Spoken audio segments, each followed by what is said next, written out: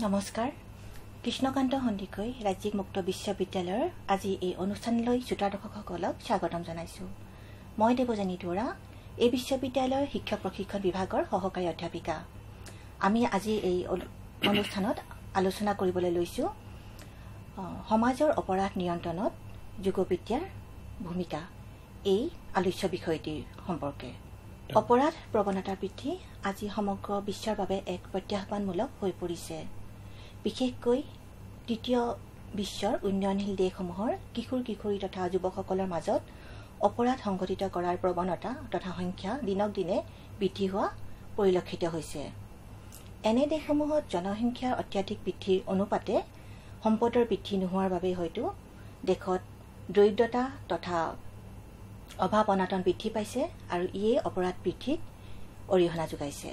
গোলকীকৰণৰ প্ৰভাৱত সমগ্ৰ বিশ্বখনে আজি এখন ক্ষুদ্ৰ গাঁৱলৈ ৰূপান্তৰিত হৈছে আৰু ই আমাৰ মানুহৰ জীৱন যাত্ৰা সহজসাধ্য কৰি তুলিছে। কিন্তু ইয়াৰ লগতে বিভিন্ন বিলাসী সাম- সামগ্ৰীসমূহ সহজলভ্য হৈ পৰিছে আৰু সকলো শ্ৰেণীৰ মানুহৰ মাজত এই বিলাসী সামগ্ৰীসমূহ লাভ কৰাৰ তথা ক্ৰয় কৰাৰ যেন এক অঘোষিত প্ৰতিযোগিতাহে আৰম্ভ হৈছে। চিম্পুল লিভিং হাই থিংকিং এই ধাৰণাটো লাহে লাহে যেন নোহোৱা হৈ যাব ধৰিছে। পৰিয়াল তথা সমাজ জীৱনত ভাঙোনৰ সৃষ্টি হৈছে। সমাজত অপৰাধৰ মাত্ৰা দিনক দিনে উদ্বেগজনকভাৱে বৃদ্ধি পাইছে। কিশোৰ কিশোৰী আৰু যুৱক যুৱতীসকলৰ মাজত পৰিয়াল তথা সমাজৰ বান্ধোন শিথিল হৈ পৰাৰ বাবে হয়তো এনেধৰণৰ এক বিশৃংখল পৰিৱেশৰ সৃষ্টি হৈছে। এনে অৱস্থাত ভাৰতত প্ৰাক ঐতিহাসিক যুগৰে পৰা প্ৰচলিত যোগবিদ্যাই কেনেদৰে আমাৰ ভাৰতবৰ্ষৰ যুৱ সমাজৰ মানসিকতাৰ পৰি- পৰিৱৰ্তন আনিব পাৰে ইতিবাচকভাৱে সেই বিষয়ে আলোচনা কৰিবলৈ আজি আমি আমন্ত্ৰণ কৰি আনিছো আমাৰ ষ্টুডিঅ'লৈ বিশিষ্ট যোগবিদ তথা যোগ শিক্ষক হৰিপ্ৰসাদ তালুকদাৰদেৱক। তালুকদাৰদেৱ আপোনাক আমাৰ এই অনুষ্ঠানলৈ স্বাগতম জনাইছো। ধন্যবাদ। যোগবিদ হৰিপ্ৰসাদ তালুকদাৰদেৱ অসম চৰকাৰৰ কাৰাগাৰ বিভাগৰ যোগ প্ৰশিক্ষক। তেখেতে গুৱাহাটী কাৰা কেন্দ্ৰীয় কাৰাগাৰৰ লগতে অসমৰ বিভিন্ন কাৰাগাৰসমূহত নিয়মীয়াকৈ যোগবিদ্যাৰ প্ৰশিক্ষণ দি আহিছে গতিকে আজি আমি আমাৰ আলোচনাত এই ক্ষেত্ৰত তেখেতৰ অভিজ্ঞতা আৰু যোগবিদ্যাৰ অভ্যাসৰ ফলত কাৰাবাসীসকলৰ মনস্তত্বৰ ওপৰত পৰা ইতিবাচক প্ৰভাৱৰ সম্পৰ্কে আমাৰ আজি আলোচনা কেন্দ্ৰীভূত কৰিম। পোনপ্ৰথমেই আমি আপোনাক পৰা জানিব বিচাৰিছো আপুনি। কেতিয়া আৰু কেনেকৈ এই যোগ চৰ্চাৰ প্ৰতি আগ্ৰহী হৈ পৰিল? মোৰ ব্যক্তিগত জীৱনৰ প্ৰশ্নই আপুনি সুধিছে প্ৰথমতেই মানে মই আপোনাৰ ব্যক্তিগত জীৱনৰ পৰা আৰম্ভ কৰিব খুজিছো। ঠিকে ঠিকে। মই এজন শিল্পকলাৰ ছাত্ৰ আছিলোঁ। মই গুৱাহাটীত অসম চৰকাৰৰ যিখন চৰকাৰী চাৰুক আৰু কলা নিকেতন আছে। মই তাত পঢ়িবলৈ আহিছিলোঁ। আহি পেলাই এইটো ঊনৈছশ তিৰাশী চনৰ কথা। সেই সময়ত আহিছিলোঁ। আহি তাৰপিছত দুবছৰমানৰ পিছত মোৰ মানে এটা শাৰীৰিক সমস্যাত পৰিলোঁ মই। মোৰ এটা বিশেষ ৰোগ এটা হৈছিলে। আৰু যিটো ৰোগ চিকিৎসাৰ কাৰণে মই আধুনিক চিকিৎসা বিজ্ঞানৰ সহায় লৈ মই সেইটো কৰিব নোৱাৰিলোঁ ঠিক কৰিব নোৱাৰিলোঁ। যেতিয়া সেইটো ঠিক নহ'ল তাৰপিছত মই বহুত চিন্তাত পৰিলোঁ কেনেকৈ কি হ'ব। তো মই ইতিমধ্যে খবৰ পালোঁ যে কামাখ্যাৰ ওচৰত এখন আশ্ৰম আছে। যোগ আশ্ৰম আছে উমাচল যোগ আশ্ৰম বুলি আৰু তাতে এই ধৰণৰ ৰোগৰ চিকিৎসা কৰা হয়। মানে সেই খবৰটো পোৱাৰ পিছত মই তালৈকে গুচি গ'লোঁ। আৰু গুচি যোৱাৰ পিছত তাত যি স্বামীজীসকল আছিলে তেওঁলোকৰ সৈতে যেতিয়া চিনাকি হ'লোঁ কথা পাতিলোঁ। খুব ভাল পালে যে তোমালোকৰ নিচিনা যুৱক আজি এই ধৰণৰ বিদ্যা গ্ৰহণ কৰিবলৈ আহিছে। গতিকে খুব ভাল পাইছোঁ আৰু তুমি আজিয়ে থাকি যোৱা ইয়াতে মোক। খুব তেনেকৈ ক'লে উৎসাহ দিলে। আৰু কৈছে যে এইবোৰ কোনো সমস্যা নহয়। মোৰ অকণমান পেটৰ এটা বেমাৰ হৈছিলে। তো সেইটো তেখেতসকলে খুব উৎসাহ দিলে। আৰু ক'লে যে তুমি ইয়াতে থাকি যোৱা। এই বেমাৰটো ইয়াতে ঠিক হৈ যাব। তো মই নিৰুপায় হৈ আছিলোঁ তেতিয়া আৰু বহুত চিকিৎসা কৰিছিলোঁ। সেই চিকিৎসা কৰি মই সুফল পোৱা নাছিলোঁ। তাৰপিছতে মই তাত থাকিলোঁ। থাকি দুমাহমানৰ ভিতৰত মোৰ সেই যিটো গুৰুতৰ সমস্যা সেই গুৰুতৰ সমস্যাটো মই নিৰাময় কৰিব পাৰিলোঁ খুব কম সময়ৰ ভিতৰত। যেতিয়া মই সেই ধৰণৰ এটা উপকাৰ লাভ কৰিলোঁ যোগৰ পৰা তেতিয়া যোগবিদ্যাটো ইমান প্ৰচাৰ নাই আৰু। প্ৰচাৰ নাই মানুহে নিশিকেও। কিন্তু। মই কিবাকে সেই খবৰটো পাইছিলোঁ লাভ। কৰিছিলোঁ। আৰু লাভ কৰাৰ পিছত মই তালৈকে গলো। গৈ সেই যেতিয়া মই দুমাহ থাকিলো দুমাহৰ ভিতৰত মোৰ সেই সমস্যাটো মানে ভাল হ'ল। তো ভাল হোৱাৰ পিছত মই চিন্তা কৰিলো যে এই ধৰণৰ যদি সমস্যাটো মোৰ ঠিক হ'ল এইটোত। তো মোৰ নিচিনাতো মানুহ বহুত আছে এই- ৰাজ্যখনত দেশখনত বা পৃথিৱীখনত। তো এই বিদ্যাটো মই শিকি লোৱা দৰকাৰ। তো মোৰ মনলৈ সেই কথাটো আহিলে। আৰু মই সেই পঁচাশী চন মানৰ পৰাই এইটো মানে শিকিবলৈ আৰম্ভ কৰিলো। তেতিয়া। তো মই দুই তিনি বছৰত গোটেই বিদ্যাটো আহৰণ কৰিলো। কৰি মই নব্বৈ চনৰ আগতে মোৰ তাৰ শিক্ষা গ্ৰহণ মই শেষ কৰি পেলালো।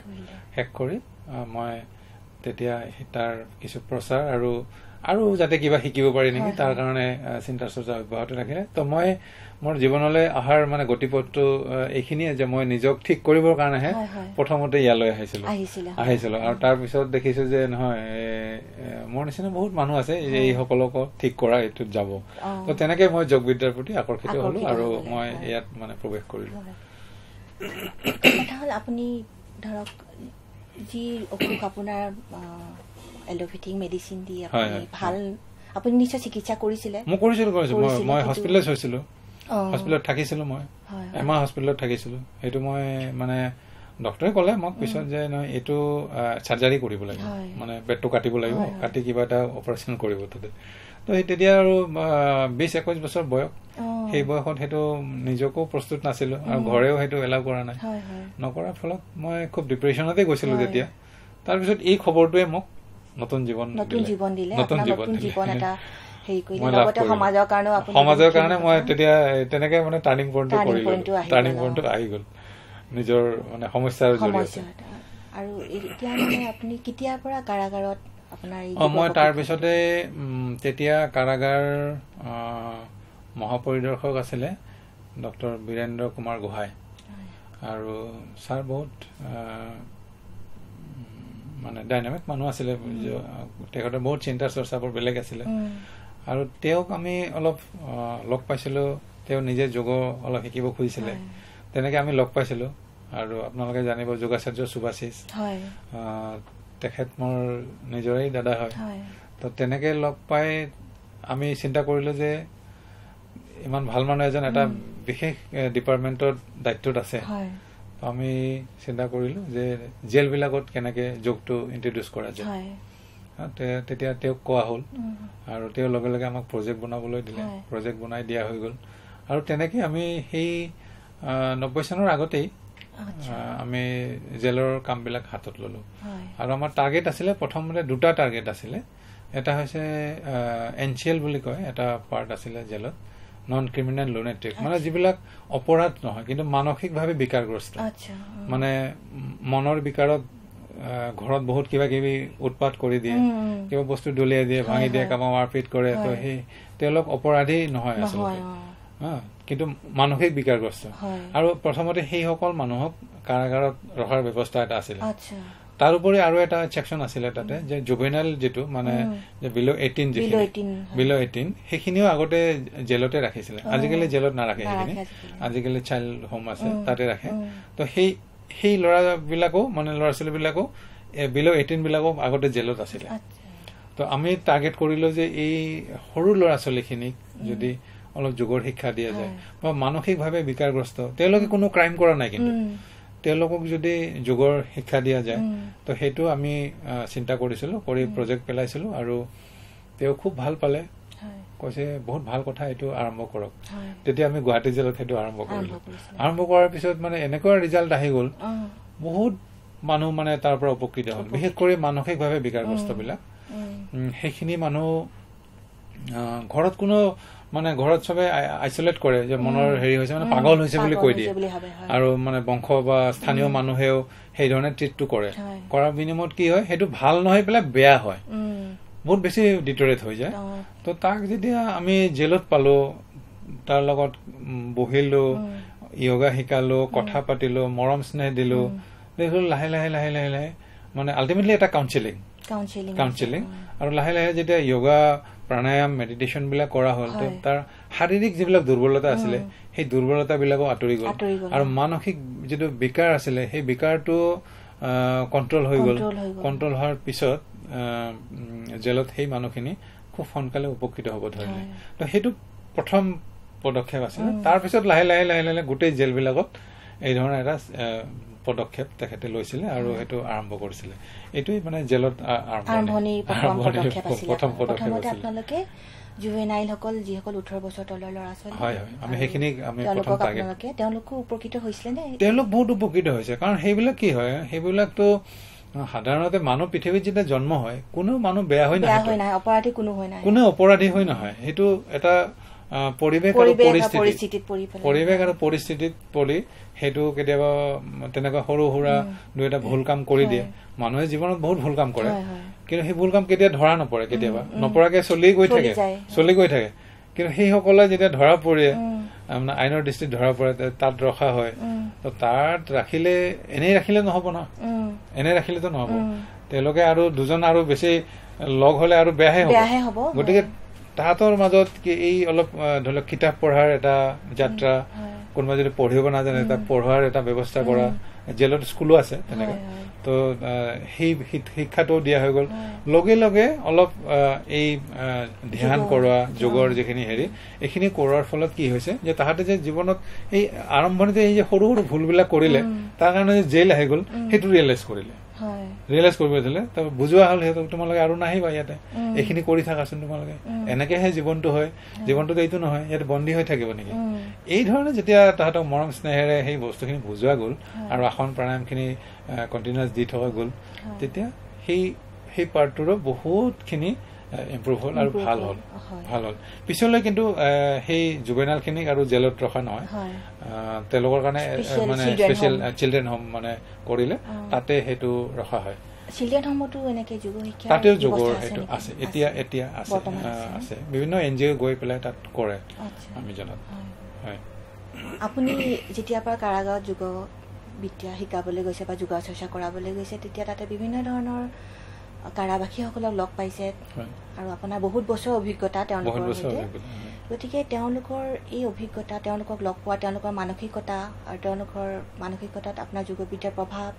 এই বিষয়ে আপোনাৰ যি এতিয়ালৈকে আপুনি যি অভিজ্ঞতা লাভ কৰিছে সেই বিষয়ে আমাক আৰু অলপ বহলাই ক'ব পাৰিব নেকি? অ নিশ্চয়। সাধাৰণতে কাৰাগাৰখন বহুত বেয়া বুলিয়ে মানুহে বেয়া বুলি ভাবে।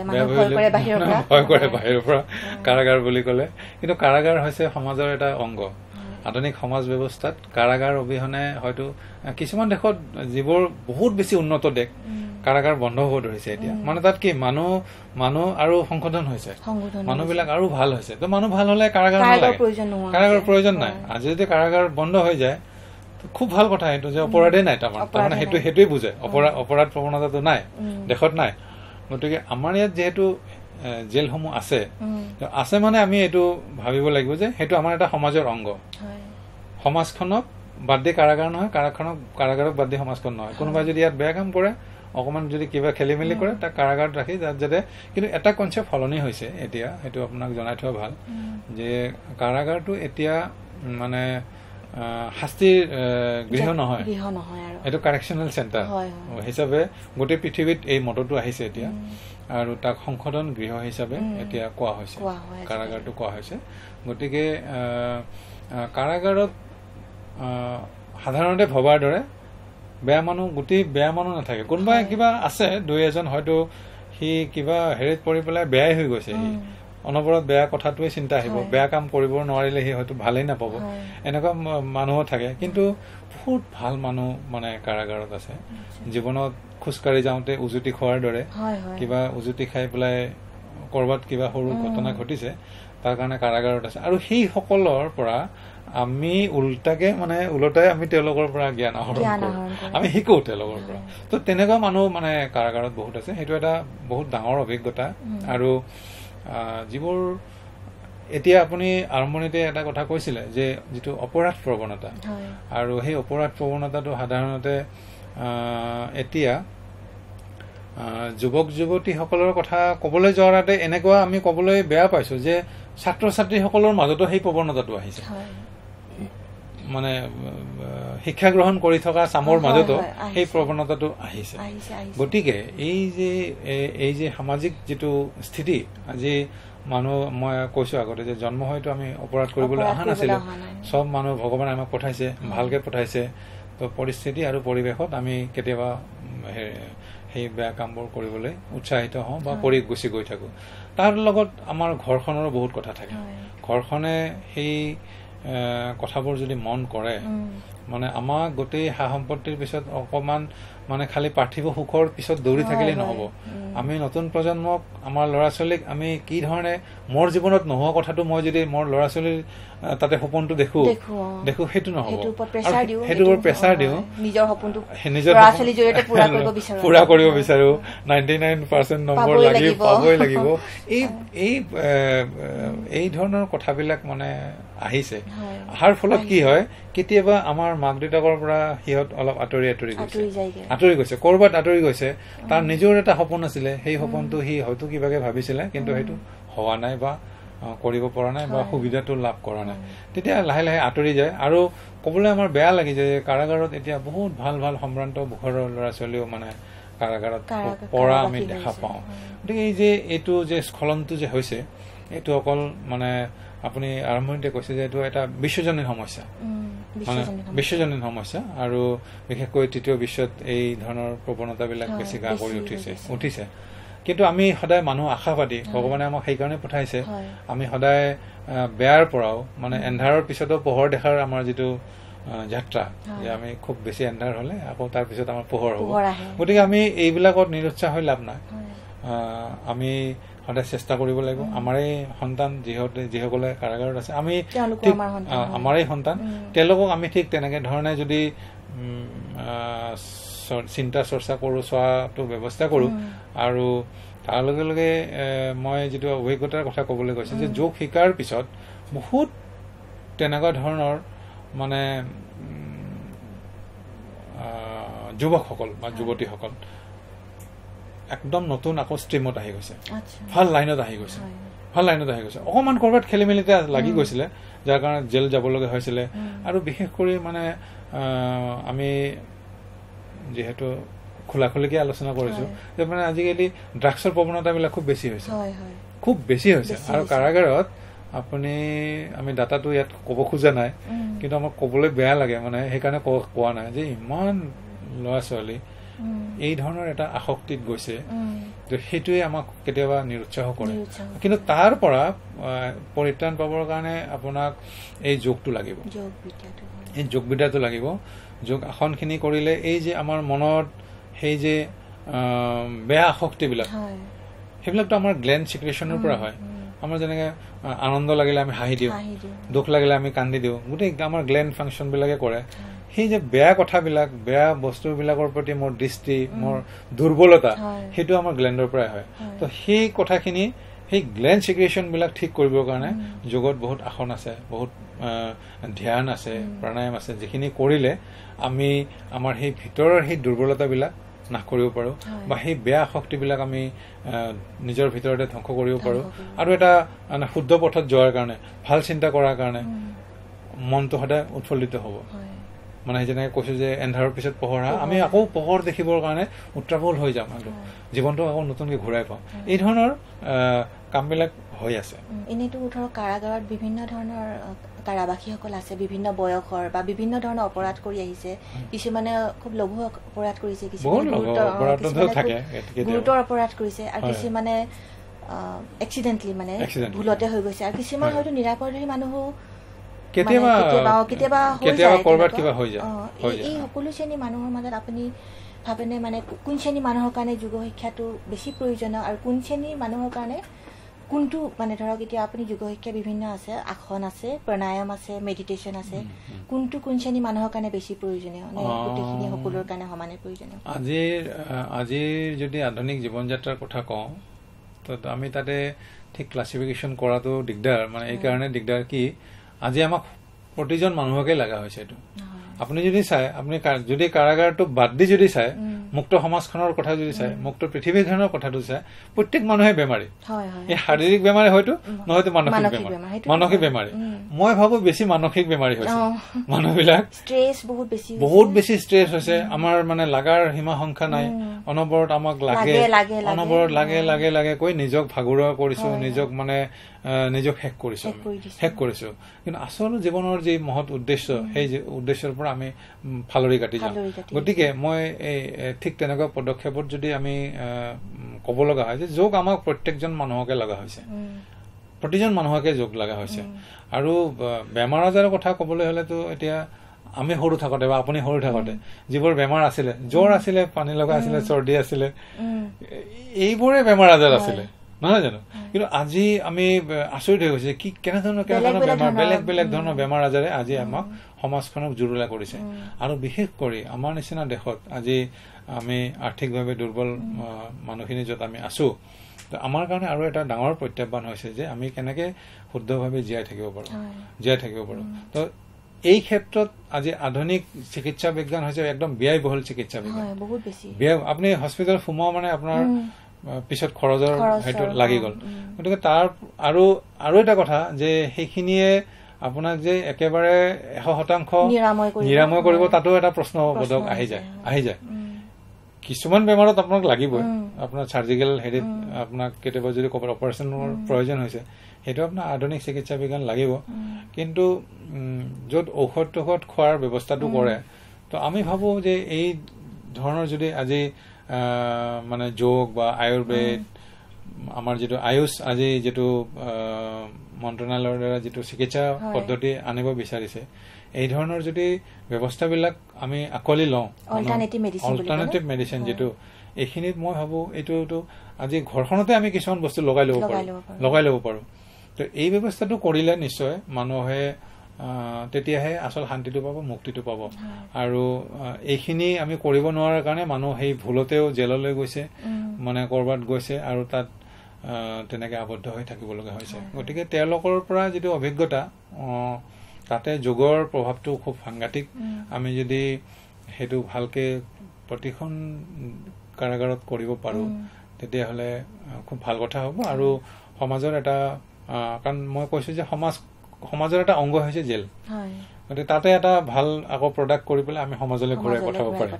ঘূৰাই পঠাব পাৰিম এনে যোগ বুলি ক'লে আমি এই যি ক'লো আসন প্ৰণায়াম আৰু মেডিটেশ্যন ধ্যান এই তিনিটা আমি হেৰি কৰো মানে আসন যোগটোতো হৈছে আপোনাৰ যোগৰ আপোনাৰ ৰাজযোগ আছে হঠ যোগ আছে লয় যোগ আছে মন্ত্ৰ যোগ আছে। তো আমি সাধাৰণতে যি যোগটো প্ৰেক্টিচ কৰো এইটো এইটো। মানে হঠ যোগ বুলি কয়। তো হঠ যোগত আপোনাৰ আসন মুদ্ৰা প্ৰণায়াম ধ্যান ধাৰণা সমাধি। এই অষ্টাংগ যোগ মানে পালন কৰা হয়। আৰু সেই অষ্টাংগ যোগটো আপুনি অনুশীলন কৰিলেহে যোগ মানে কৰা হ'ব। এনেই আপুনি দুটা বহি পেলাই আসন কৰিছে এইটো যোগ কৰ- নহ'ব। মানে আমি আমি দেখা পাওঁ তেনেকে যে সুধিলে আপুনি আসন যোগ কৰে নেকি? কৈছে মই কৰো। যেতিয়া আমি চাই দিওঁ দুটা বা তিনিটা কিবা কৰি থৈছে সেইটোৱে যোগ কৰা বুলি ভাবে। কিন্তু এই গোটেই ক্ৰমটো কৰিব লাগিব। অ। আপোনাৰ মানে যোগৰ যিটো মানে যোগৰ যিটো- ইতিবাচক প্ৰভাৱ সেইটো পাবলৈ হ'লে সেইটো পাবলৈ হ'লে এই- গোটেইখিনিয়ে এই ক্ৰমটো কৰিব ক্ৰমটো লাগিব। কৰি গ'লে ক্ৰমটো কৰিব লাগিব। হয়। আৰু সেইখিনি কাৰণে অকমান প্ৰাৰম্ভিক পৰ্যায়ত, অ, পৰ্যায়ত প্ৰশিক্ষণ। বা জানি লোৱাটো খুব ভাল। এজন অভিজ্ঞ ব্যক্তিৰ পৰা অভিজ্ঞ ব্যক্তিৰ পৰা জানি লোৱাটো ভাল। যোগৰ পৰা আপোনাৰ এনেই কোনো চাইড এফেক্ট নাই কিন্তু উপকাৰটো পাবৰ কাৰণে। আপুনি ভালকে কৰিব লাগে। কিন্তু ভালকে নকৰিলে কি হ'ব? আপোনাৰ সময়টো নষ্ট হ'ব।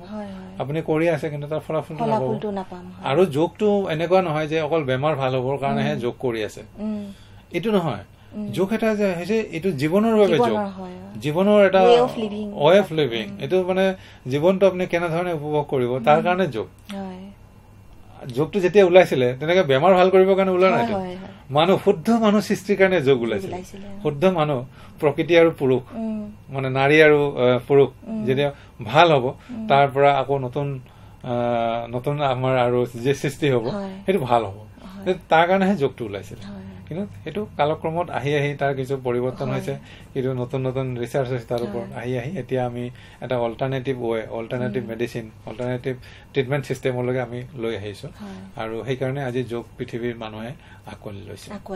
অকল জেলতে নহয় গোটেই পৃথিৱীৰ মানুহে হয় হয়। আৰু সদায় prevention is better than cure.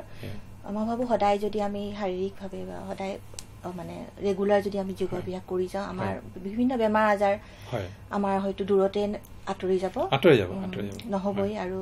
আৰু লগতে আমাৰ ছাত্ৰ ছাত্ৰী ছাত্ৰ বা আমাৰ ল'ৰা ছাত্ৰীখিনি ছোৱালীসকলৰ ছাত্ৰ ছাত্ৰীখিনিৰ কাৰণেতো বহুতেই দৰকাৰী হৈছে বহুতেই। দৰকাৰী বহুতে হৈছে। দৰকাৰী উম, হৈছে বিদ্যালয়সমূহত কিয় সেইটো মই কাৰণে যোগ বিদ্যা অ, প্ৰচলন মানে কিয়। আমাৰ কৈছো যে আমাৰ মাক দেউতাকৰো বহুতখিনি কথা থাকে। তাতে পৰিয়ালটোৰো আমি অলপ আগতে আলোচনা কৰিছো যে নম্বৰ কেন্দ্ৰিক নহয় আচলতে। আমি মানে মই কওঁ যে পঢ়ি আমি কিয় পঢ়ো? মানে পঢ়ি ভাল পাই পেলাই পঢ়িব লাগে। নহয় জানো? কিবা এটা বস্তু ভাল পাই কিন্তু আমি পঢ়িব লাগে কাৰণে পঢ়ো। নম্বৰ পাবৰ কাৰণে। নম্বৰ কাৰণে পাবৰ কাৰণে পঢ়ো। কিন্তু জ্ঞান আহৰৰ কাৰণে নপঢ়ো। আৰু এই এইটোৱে আমাক গোটেই খেলি মেলিটো কৰিছে খেলি মেলি কৰিছে গতিকে আমাৰ। পিতৃ মাতৃ বা অভিভাৱকসকলৰো হয়। বহুতখিনি কৰিবলগীয়া আছে এই ক্ষেত্ৰত। আমাৰ ছাত্ৰ ছাত্ৰীসকলক যাতে শুদ্ধ পথত। আগুৱাই যায় সেইটো কাৰণে। অকল আমি যুৱক যুৱসকল বা কিশোৰ কিশোৰীসকলকে দুখ দি থাকিলে নহব দোষ দি থাকিলে অ, নহব। আমাৰ আমাৰো। বহুতখিনি আমাৰ বহুতখিনি অভিভাৱক কৰণীয় আছে কৰিবলগীয়া আছে বহুতখিনি কৰণীয় আছে পুনৰ কাৰাগাৰলৈ উভতি আহিছো। কাৰাগাৰৰ আপোনাৰ এইটো যোগ প্ৰশিক্ষণৰ ক্ষেত্ৰত। কাৰাগাৰ কৰ্তৃপক্ষৰ পৰা আপুনি কেনেধৰণৰ সহায় সহযোগিতা পাইছে এতিয়ালৈকে? আহ, এইটো ক'বলৈ হ'লে গোটেই ভাৰতবৰ্ষত কাৰাগাৰত বোধহয় যোগটো আমি আৰম্ভ কৰিছিলো। গোটেই ভাৰতবৰ্ষত। আমাৰ অসমতে প্ৰথম আৰম্ভ হৈছে। অসম মানে আমি অসমৰ মানে গুৱা- গুৱাহাটীৰ কথা কোৱা নাই বা অসমৰ কথা কোৱা নাই। গোটেই ভাৰতবৰ্ষত মই জনাত মানে প্ৰথম আমি এইটো আৰম্ভ কৰিছিলো। আৰু তাৰ পিছত লাহে লাহে লাহে লাহে সেইটো যিহেতু গ'ল তো যাবলৈ হ'লে মই অকলে নিব নোৱাৰো। হয়। বা কৰ্তৃপক্ষ এখন জেলৰ কৰ্তৃপক্ষও নিব নোৱাৰে।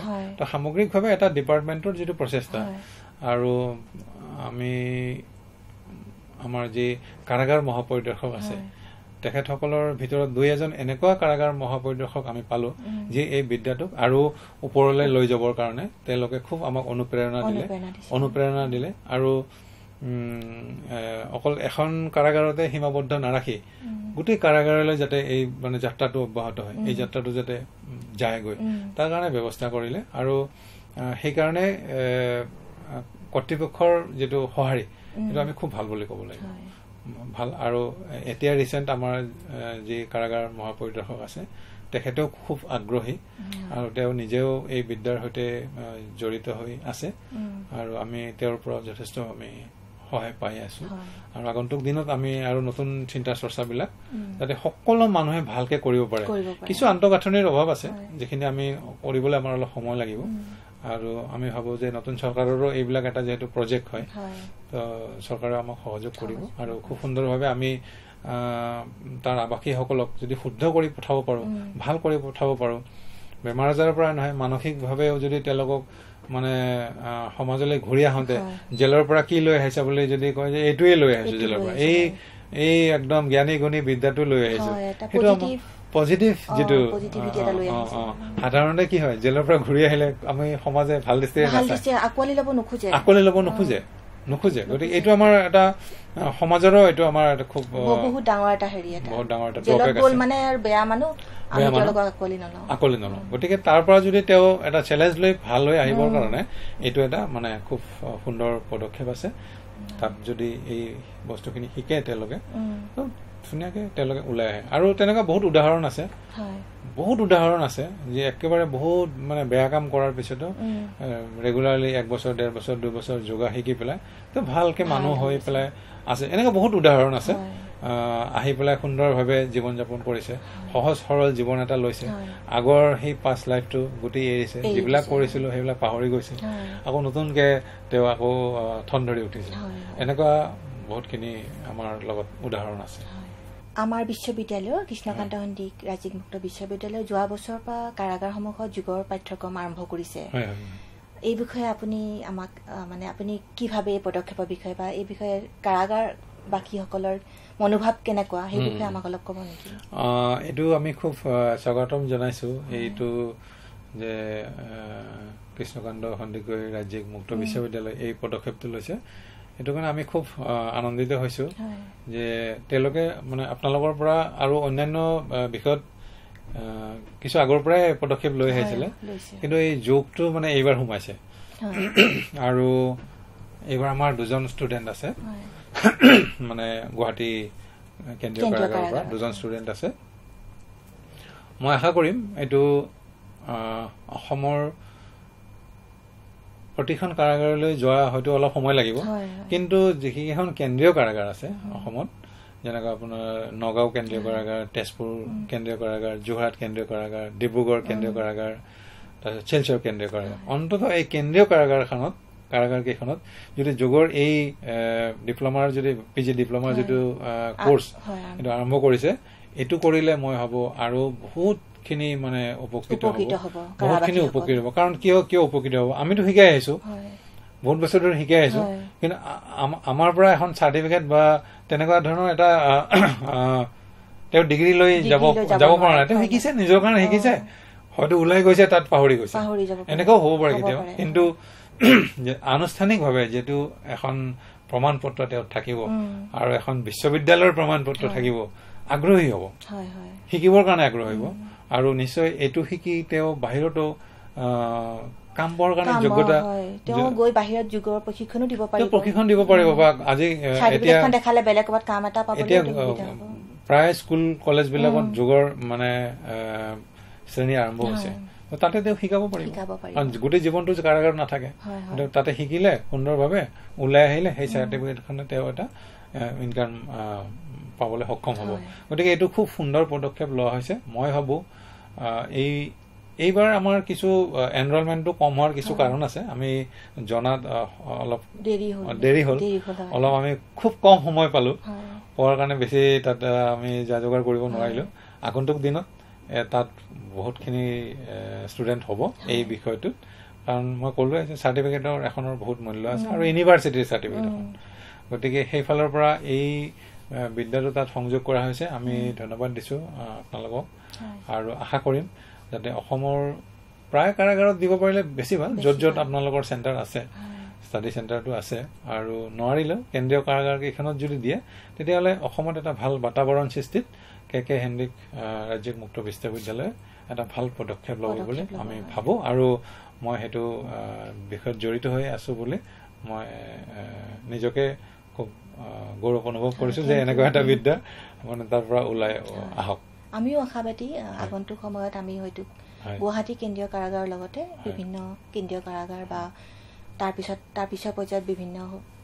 বেলেগ বেলেগ কাৰাগাৰতো আমি। প্ৰশিক্ষণ আৰম্ভ কৰিব পাৰিম বুলি আমি যথেষ্ট আশাবাদী। আমি ইতিমধ্যে আলোচনা কৰিছিলোঁ আজি যি উচ্ছৃংখলতা যুৱ উচ্ছৃংখলতা হয়, দেখা দিছে সমাজত আৰু যি অপৰাধ প্ৰৱণতা বৃদ্ধি পাইছে অকল মই যুৱক যুৱতী বা কিশোৰ কিশোৰী বুলিয়ে নকওঁ বিভিন্ন বয়সৰ সকলো বয়সৰ মানুহৰ মাজতে এইটো যেন বৃদ্ধি পাই গৈছে। গতিকে আমি তেওঁলোকক কাৰাগাৰবাসীসকলৰ কথাটো বাদেই দিলোঁ মানে যি যাতে কাৰাগাৰ যাব লগা নহয় নতুন প্ৰজন্ম যাতে ভাল। পথত আগুৱাই যায়। তাৰ বাবে আমি আপুনি কি পৰামৰ্শ দিব তেওঁলোকক যোগৰ অভ্যাসৰ জৰিয়তে? তেওঁলোকে কেনেকে ধৰণে নিজকে সুস্থ শাৰীৰিকভাৱে আৰু মানসিকভাৱে কৰি ৰাখিব পাৰিব? এইটো আপুনি খুব ভাল কথা কৈছে। মই বহুত ঠাইলৈ গ'লে। সভা সমিতিলৈ গ'লেও পাৰিলে সুযোগ পালে এই কথাটো কওঁ যে আমাৰ শিক্ষা ব্যৱস্থাটোৱে অকল এটা চাকৰিমুখী শিক্ষা ব্যৱস্থাহে যেন আমি কৰিছো।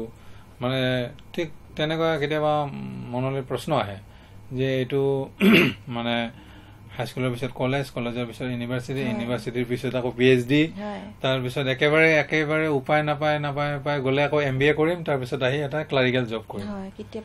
আমাৰ এই যে যিটো সময়ৰ যিটো অপচয় এই এটা চাকৰিৰ পিছত দৌৰি ফুৰাৰ যিটো প্ৰৱণতা এইটোৱে আমাক কিন্তু জীৱনত বহুত হ'ব খোজা কৰিব খোজা কথাবিলাকক আমাক পিছ পেলাই দিয়ে আৰু মানে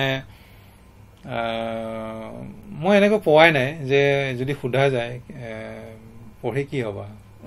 ভালখিনিতো আৰু দুটাই বস্তুৱে কয় ইঞ্জিনিয়াৰ ডক্টৰটোৱে ক'ব ভালখিনিয়ে। পিছৰজনে কোনোবাই হয়তো ক'ব যে না মই টিচাৰ কৰিম। সেইটো কয় কিন্তু সেইটো ভাল লাগে বেছি। টিচাৰ বুলি ক'লে ভাল লাগে বুলি বেছি। কিন্তু মই কাকো পোৱা নাই যে মই উদ্যোগী হ'ম এণ্টাৰপ্ৰিনাৰ হ'ম। এইটো মানে কোৱা নাই কোনেও নকয় এইটো। মানে এইটো আমাৰ কনচেপ্টত নাই।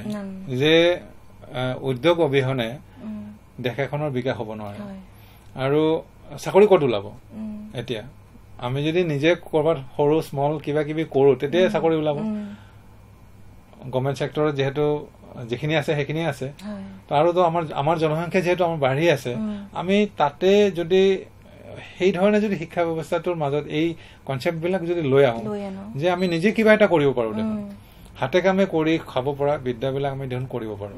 তো এই কথাটো যদি তেওঁলোকক শিকোৱা যায় বুজোৱা যায় তেতিয়াহে এই বস্তুটো নহলে উদ্যোগী হোৱাৰ কথাটো কোনেও ভাবিবই নোৱাৰে তাৰমানে। নাভাবেই কোনেও যে মই গোটেইখিনি শিক্ষা শেষ কৰি মই এটা উদ্যোগ গঢ়িম। এইটো আমাৰ ল'ৰা ছোৱালীয়ে নাভাবে। তো মই ভাবো যে এই ধৰণৰ চিন্তাবিলাকো আনিবৰ হৈছে। কিন্তু জনসংখ্যাটো সমস্যা নহয় কেতিয়াবা। জনসংখ্যাটো বেছি হলে ভাল মেন পাৱাৰটো বেছি হ'ব মই এইটোৱে ভাবো। কেতিয়াবা সমস্যা হয় কেতিয়াবা সমস্যাটো হ'ব কিন্তু সেইটো সেইটো অনুপাতে আমাৰ সম্পদটো বৃদ্ধি কৰিব লাগিব। সম্পদটো বৃদ্ধি কৰিব তেতিয়াহে মানে হয়। দুটাই ইকুৱেল হৈ থাকিলে ইকুৱেল হৈ থাকিব। সমস্যা গতিকে সেই কথাবিলাক যদি আহে আৰু যোগটো খুব আমি যিহেতু যোগৰ কথাই পাতি আছিলো যোগটোৱে খুব এই ক্ষেত্ৰত সহায় কৰিব। যে। যোগ শিকিলে তেওঁ এটা ইনকাম জেনেৰেট এটা এডুকেশ্যন তেওঁ পাব। নিজৰ কাৰণে এটা ভাল। আৰু নিজে কিবা কৰি খাব পাৰিব। গতিকে মই ভাবো যে ল'ৰা ছোৱালীয়ে এই বিদ্যাটো গ্ৰহণ কৰিব লাগে। আৰু এইটোৰ কাৰণে আপোনালোকৰ ফালৰ পৰা এতিয়া অসমত এইবাৰ থাৰ্টি ছিক্স লাৰ্ণিং চেণ্টাৰ দিছে। অসমত। গতিকে ছয়ত্ৰিশটা গোটেই জিলাত আমাৰ যদি চেণ্টাৰ হৈছে লাৰ্ণিং চেণ্টাৰ হৈছে তো তাত আমাৰ ল'ৰা ছোৱালী যদি এই বিদ্যাটো গ্ৰহণ কৰে যিয়ে যি কৰি আছে কৰি থাকক। নিজৰ যি চিন্তা আছে সেইবিলাক কৰি থাকক। কৰি থাকক। তাৰ লগে লগে যদি আমি আমাৰ শনিবাৰ দেওবাৰে ক্লাছ হয়। এক বছৰ আমি ক্লাছ কৰিব লাগে বা দুবছৰ পি জি কৰিলে আমাৰ দুবছৰ কৰিব লাগে। তো এইটো যদি আমি বিদ্যাটো গ্ৰহণ কৰো তেতিয়াহ'লে নিজে কৰি খাব পৰা এটা মানে আমি আমি এটা নিজক মুকলি কৰিব পৰা ৰাস্তা আমি পাম। একো বয়সৰ কথা নহয় কোনো বয়সৰ কথা নাই। সকলো বয়সৰ মানুহ আহিব পাৰে। পাৰিব। ইয়াতে আমাৰ এটা আমাৰ চেণ্টাৰতে বহুত মানে ৰিটায়াৰ্ড পাৰ্চন আছে। তেওঁ এতিয়া আকৌ নতুনকে যোগটো মানে শিকিবলৈ আহিছে। শিকিবলৈ আহিছে। এইটো ভাল কথা। গতিকে যুৱক যুৱতীসকলে অকল চাকৰিমুখী এটা ব্যৱস্থাত নাথাকি হাতৰ বিদ্যা এটা শিকিব লাগে আৰু হাতৰ বিদ্যা শিকিবৰ কাৰণে এই যোগটো এটা হাতৰ বিদ্যা। হাতৰ বিদ্যা। আৰু খুব অনেষ্ট মানে আপুনি যদি চাই যে এটা খুব সন্মানীয় এটা মানে এইটো এটা বিদ্যা হয়। আপুনি যেতিয়া যোগ শিকায় বুলি কয় আপোনাক ভাল চকুৰে চায়। ভালকে সন্মান কৰে। গতিকে সেইফালৰ পৰা বহুত পজিটিভ হৈ আছে। ল'ৰা ছোৱালীবিলাক আহিব লাগে ইয়াতে ভালকে শিকিব লাগে। আৰু আগন্তুক দিনত সমাজৰ আজি যিটো আমি অলপ নিৰুৎসাহজনক বাতাবৰণ এটা পাই আছো এইটো এনেকে লাহে লাহে লাহে লাহে আমি আমি এইটোৰ পৰা আঁতৰ কৰিব। পাৰিম। যোগৰ মাজেৰে আমি এইটো এটা মানে সমাজখন সংস্কাৰ আৰু উন্নত কৰিব পাৰিম উন্নত কৰিব পাৰো। মানে যোগে কিন্তু সংস্কাৰটোও কৰে। হয়। আমাৰ মনৰ ভিতৰত যিবিলাক আমি বেয়া কথা ভাবি থাকো ঋণাত্মক যিবিলাক চিন্তা চৰ্চা। চিন্তা চৰ্চা সেইবিলাকো লাহে লাহে লাহে আঁতৰ হ'ব। মানে নিগেটিভ থট বিলাকো গুচি যাব। আৰু তেতিয়া যেতিয়া আমি পজিটিভ হ'ম মই পজিটিভ হলে আপুনি হ'ব সকলোৱে হ'ব। সকলোৱে হ'ব। গতিকে এইটো সমাজখন শুদ্ধ কৰাৰ কাৰণে ভাল কৰাৰ কাৰণে যোগ এটা খুব ভাল মাধ্যম। গতিকে ল'ৰা ছোৱালীবিলাক আহক। বয়সীয়াল বিলাকো আহক। এটা আন্দোলন এটা আৰম্ভ কৰক। আৰম্ভ কৰক। আমাৰতো গুৰুজনে কিমান আগতে পাঁচশ বছৰ আগতে যোগৰ মানে তেওঁ ব্যৱস্থাবিলাক আনিছিলে। তেওঁৰ যিবিলাক সৃষ্টি এতিয়া মাটি আখৰাৰ কথা যদি আপুনি চাই বা চাই গোটেই আসনেই আছে কিন্তু। আমি আমিতো এতিয়াহে যোগটো ইণ্টাৰনেশ্যনেল অৱস্থাত পালো। কিন্তু পাঁচশ বছৰ আগতে তেখেতে সেইবিলাক সমাজলৈ আনিছিলে। আমাৰ সমাজখনে সাৰ্বজনীন কৰি নললে। সেইটো আমাৰ কাৰণে দুখজনক। তেখেতে কিন্তু তেতিয়াই আনিছিলে। গতিকে আমি পৰিৱৰ্তন হয়। এতিয়া আকৌ সামাজিক পৰিৱৰ্তনৰ মাজে মাজে এই ভাল কথাবিলাক আকৌ সমাজলৈ আহক। আমাৰ যিহেতু সেইটো আছেই আমাৰ তেজতেই আছে। তেজতে আছে। আমাৰ তেজতে আছে আমাৰ পৰম্পৰা হৈ আছে। গতিকে তাক আকৌ আমি যদি খুব ভালকে সাৰ্বজনীন কৰি আনো সকলো মানুহে গ্ৰহণ কৰে। ইয়াত কোনো ধৰ্মৰ কথা নাই। কোনো বৰ্ণৰ কথা নাই ইয়াত। সকলো মানুহে যোগটো কৰিব পাৰে। জাতি ধৰ্মৰ কোনো ইয়াত কথা নাই। আমি তেনেকে আমি পোৱা নাই বা শিকা নাই। এইটো এটা মানে এনচিয়েণ্ট চায়েন্স হিচাপে আমি যদি গ্ৰহণ কৰো আমি অল্টাৰনেটিভ চিষ্টেম হিচাপে যদি আমি গ্ৰহণ কৰো তেতিয়াহ'লে যোগটোৱে সামাজিক পৰিৱৰ্তন আনিব আৰু এই নতুন চামৰ মাজত এটা খুব ভাল সুন্দৰ বাতাবৰণ সৃষ্টি সৃষ্টি কৰিব। এইটো আমি আশাবাদী। আজিৰ আলোচনাই নিশ্চয় আমাৰ শ্ৰোতা দৰ্শকসকলক যথেষ্ট উপকৃত কৰিছে। অসমৰ বিভিন্ন কাৰাগাৰসমূহত থকা কাৰাবাসীসকলৰ জীৱন যাত্ৰা আৰু যুগৰ অভ্যাসৰ ফলত তেওঁলোকৰ মনস্তত্বৰ ওপৰত পৰা ইতিবাচক প্ৰভাৱৰ বিষয়ে আমি আজি আমাৰ যোগবিদ হৰিপ্ৰসাদ তালুকদাৰ দেৱৰ পৰা যথেষ্টখিনি কথা জানিব পাৰিলোঁ। আমি যোগবিদ হৰিপ্ৰসাদ তালুকদাৰ দেৱক ধন্যবাদ জনাইছোঁ। আজি আপুনি আমাৰ মাজলৈ আহিলে। আৰু এটা গুৰুত্বপূৰ্ণ বিষয়ে আমাৰ লগত আলোচনা কৰিলে আমাক বহুতখিনি কথা আপুনি জনালে। ইয়াৰ বাবে আপোনাক অশেষ ধন্যবাদ জনাইছোঁ। আৰু ইয়াৰ পৰা আমি এটা কথা উপলব্ধি কৰিছোঁ যে যোগবিদ্যাৰ ব্যাপক অনুশীলনে আজিৰ যুৱক যুৱতী তথা কিশোৰ কিশোৰীসকলৰ জীৱনত এক ইতিবাচক প্ৰভাৱ পেলাবলৈ সমৰ্থ হ'ব আৰু মানৱ সম্পদৰ সুব্যৱস্থাপনাই দেশৰ প্ৰগতি ত্বৰান্বিত কৰিব। আজি ইমানতে আমাৰ আলোচনা সামৰণি মাৰিছোঁ। ধন্যবাদ।